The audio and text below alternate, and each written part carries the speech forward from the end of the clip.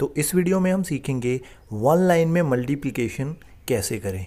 ये एक वैदिक मैथ्स का कंसेप्ट है, जिससे आपकी मल्टीप्लिकेशन क्या हो जाएगी? बहुत फास्ट हो जाएगी। तो चलिए इस वीडियो को शुरू करते हैं।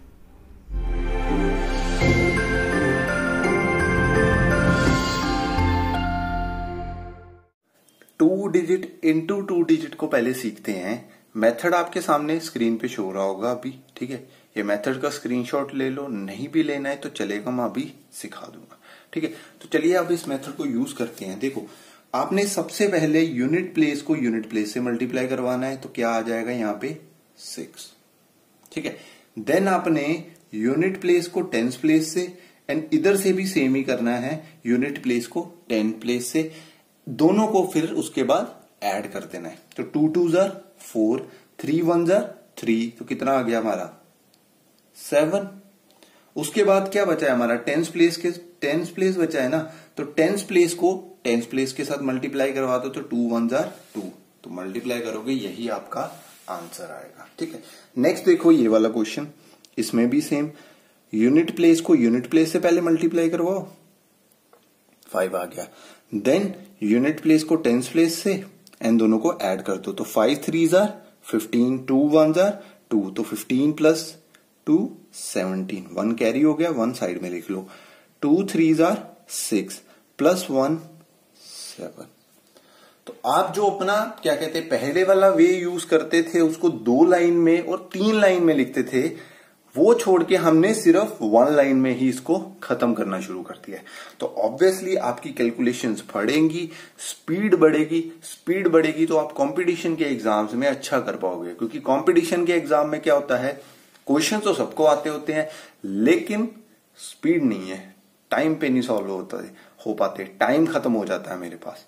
तो ये चीज़ें इनसे ही खत्म होगी अगर आप अच्छी कैलकुलेशंस फास्ट कैलकुलेशंस कर सकते तो अब हम सीखते हैं थ्री डिजिट को थ्री डिजिट से कैसे मल्टीप्लाई करना है। थ्री इंटू थ्री वाले में जो पैटर्न है, वो आपकी स्क्रीन पे शो हो रहा होगा।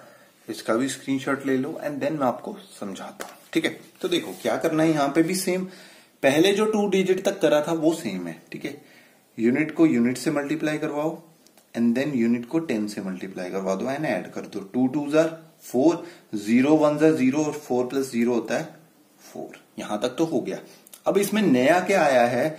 हमने यूनिट प्लेस को हंड्रेड प्लेस से करना है, यहाँ से भी सेम करना है यूनिट प्लेस को हंड्रेड प्लेस से करना है, इस वाले के ठीक है? देन जो सेंटर में बचा है, उनको आपस में मल्टीप्लाई करवा देना। बस इतना सा काम करना है यहाँ पे, ठीक है?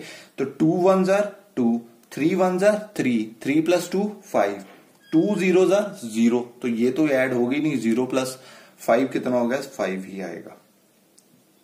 नेक्स्ट हमने फिर से देखो, हमारे पास सिर्फ़ कितने बच गए नंबर दो बच गए तो इस पे भी सेम अप्लाई कर दो।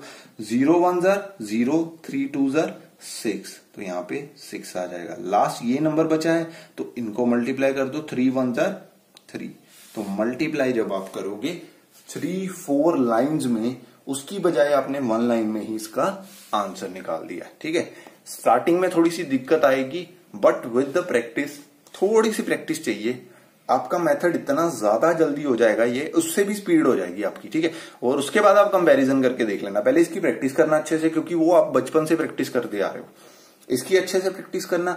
देन इन दोनों को कंपेयर करके देखना कि आपका कितना टाइम बचा है और कितना टाइम नहीं, ठीक है? नेक्स्ट एक। तो मैंने तो आपको सिखाया मेथड थ्री इंटू थ्री या टू इंटू टू अगर थ्री इंटू टू आ जाए तो क्या करना है? कुछ नहीं, इसको भी थ्री बना दो। कैसे बना सकते हो इसके यहाँ पे? ज़ीरो लगा के। अब मेथड फॉलो करो। Two two jar four nine eighteen eighteen and यहाँ पे क्या आ गया? सिक्सटीन तो ये आ जाएगा हमारा थर्टी फोर तो यहाँ पे फोर आ गया थ्री उधर चला गया सिक्स ज़ीरो सेवेंटी टू ठीक है? यहाँ पे सिक्स था तो ये आ जाएगा हमारा इलेवन एंड एट्टी वन यहाँ पे वन आया एट कैरी हो गया।